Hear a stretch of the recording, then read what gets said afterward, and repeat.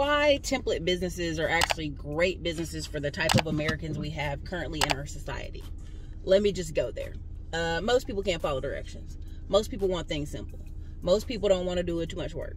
Most people just want to show up to work and do remedial, repetitive tasks over and over and get paid the most for doing the least. So, what you'll see here when I talk about courage, and this is something I remember my father talking about. I remember um, men at school talking about, like, you need to have courage. And, like, what did that mean? Now, at the time, I think they were talking to a lot of the young men in school about having courage for whatever reason that may be. But even at church, when they talk about men having courage, 90, 90% of the time, a lot of the women I know start businesses. If they get a new husband, new boyfriend, and he makes a significant amount of money and she don't have to work, she will not work. She will not work. And I've seen it too many times. I know it's true. if a man starts a business and he really enjoys the business and it makes money and he gets to a point where he can coast, he will coast. That's the, just the nature of people. So, but guess what? It takes courage to actually go out and start this business. That's why when people talk bad about template businesses, you know, the trucking industry, any of these businesses that you kind of just, you know, car rental, um, which there's templates for. people just don't want to follow them. But a lot of these industries, they're templates. You're not doing anything new. You're not recreating the wheel. You're not a special whatever. What's the special sauce is you right?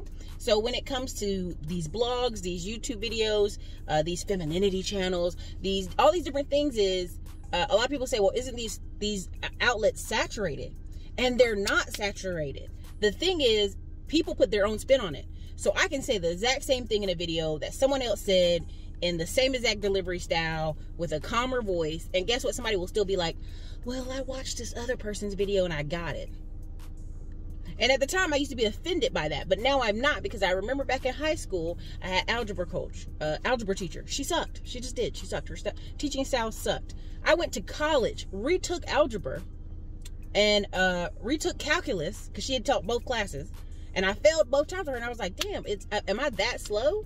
I'm in all AP classes. There cannot be that I cannot complete these." Went to college, took calculus and algebra again, plastic with flying colors, college level different type of teacher. So what I tell people is a lot of times when you talk about something being oversaturated, baby, that's that's that's just in your head. Right? People want it shooting fish in a barrel easy. When I hear men and women talk about how hard dating is in their 30s, it's because it's not shooting fish in a barrel anymore.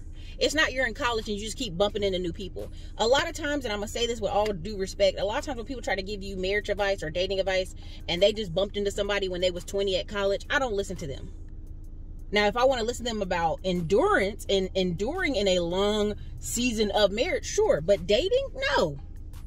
You just bumped into somebody cute when you was 20 and y'all got married. That's that's how that goes. And and even to the day when you meet people in their 30s, I've had friends get married in under three and four and five months. Now they didn't just marry him because they was cute, but they also married him because they had light light baggage. Now what do I mean light baggage? I'm gonna be careful with that. They didn't have kids. All the people I know, they didn't have kids uh, and they were in the same kind of flow of life. So again, what I know about people is template businesses work.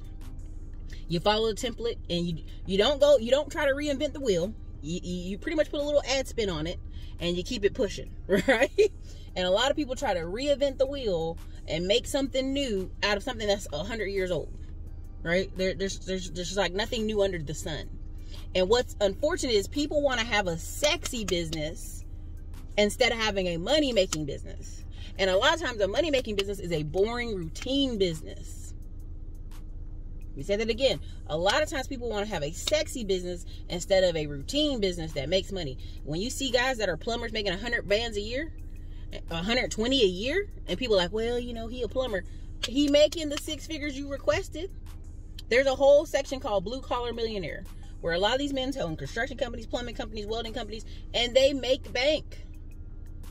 Consistent, routine, boring businesses making bank. There's a couple here in Austin. They are multi-millionaires called Kangaroo Roofing. You can look them up. And now they made so much money they bought somebody's AC company. Now they got Kangaroo AC. Uh, it's a different name on it, but it's basically Kangaroo Roofing owns the same one. So a lot of times when people sit here and try to talk to me about oh, how hard it is to start a business, 99% of the businesses you want to start are very boring, are very template, are very run of the mill. You are not creating anything special. And I hate to burst your bubble, but that's usually what it is. Something very routine. Like when I talk to people about blogging and YouTubing, the biggest thing we talk about is mindset, getting them to do the task repeatedly without immediate gratification because we live in a society where y'all go to work and get paid exactly by the hour. So, but you building a YouTube channel for five years or three years or two years, oh, that's, oh, damn, that's too long. You know, I need to go viral. Like, oh, well, viral means just that. It's usually on accident. It's usually on accident. Now, how you carry yourself after the viral moment matters. Kevin Samuels, upgrade equipment, upgrade quality, upgrade lighting, upgrade. Always, he's always been improving his system and his set. Always, he's always been improving his what the quality of what you're seeing. Right?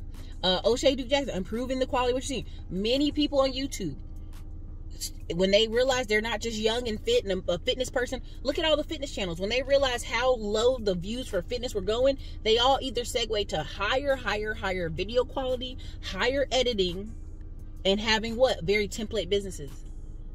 You know, you try to reinvent the wheel, you don't need to. Max Tuning is doing candy. Uh, Christian Guzman is doing energy drinks and supplements and clothing. And now this Land that he's dropping 20 million into. That means he had to have the money to drop it into it. But if you look at their videos, when they realized fitness views were going down, all they did was build in a lot of high quality editing. Nick Bare, any of those folks. What you also have to understand is when you have this audience of half a million people, right? And you pitch a product or a service, and again, this isn't always guaranteed, but when you pitch, you have half a million people and you pitch a product or service. If just 10% of those people, 50,000 people, consistently forever buy t shirts, clothing, supplements, you will be a multimillionaire for the rest of your life. For the rest of your life, if you don't f it up, if they, if none of them make another YouTube video in another day in their life, they will have money. Why? Because it's it's it's tale as old as time. Long tail, uh, email marketing, having a product that people like, and reoccurring customers. That's it. That's it. Even they complain of the algorithm on YouTube. Because people be like, well, you just complain. I'm like, boo boo, this is a real thing. Whether someone in the office has created it, whether someone is working behind the scenes and just throttles for certain people, certain keywords, you know, I think it's computer generated. It's not necessarily a uh, us thing. It's just the computer is necessarily doing it. Because I can check my titles, I can check what I've put together. I've checked, I, I mean, you name it. And I can see the difference. So when that happens, you do have to go the guerrilla route. You do have to go the Jason Black route. You do have to go some other people out and go guerrilla style marketing with your stuff, outside marketing with your stuff.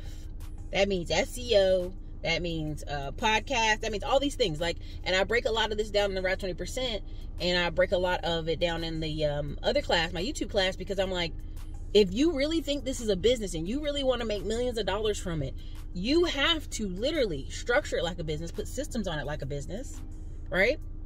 My other two companies have a manager. I am not the lead on them. So when people are like, oh, you can't have more than one company, yeah, I do. But you have to have staff, you have to hire people. That's just all it is to it, right? Um, and so when I'm short tempered on here, it's just frustrating that I'm literally telling you the answer A, B, C, D and people start to put imaginary roadblocks into it. Literally, I listen to you guys go, but then this and that, and I'm like, well, just go ahead and do it. Just go ahead and do it, sis. Go ahead and do it. People be like, but, but, but, but, yeah, it's that easy. Just do it. So again, your girl Ericka, Classy Climb Blog. Didn't want to make this too long of a rant. But again, y'all, template businesses work because they're simple. And the type of American society we have needs simple, repetitive structure uh, to, to make it work. The special sauce when it comes to any business is you for sure. Um, but what happens is people burn themselves out doing too many roles. You have to delegate as soon as possible when you can afford to. And you have to stay consistent with it. Even guys right now, they're um, a guy I love, Robbie Scaling Systems, his latest video, he said he realized he spent the past three years with all paid traffic and yes, they made seven million dollars, but he, now he's building a YouTube channel, and he wishes he had more organic traffic. If he'd have started building a YouTube channel four or five years ago, when he first decided to build the company, he'd probably have a 100,000 plus subscribers plus. Because the way YouTube favors the brand new channels. So again, you guys, this is your girl Ericka Classy Climb blog. Suggesting you don't give up, suggesting you have courage. It takes courage to do brave things. And I think later today we'll talk about um, what I see on the horizon in U.S. society later.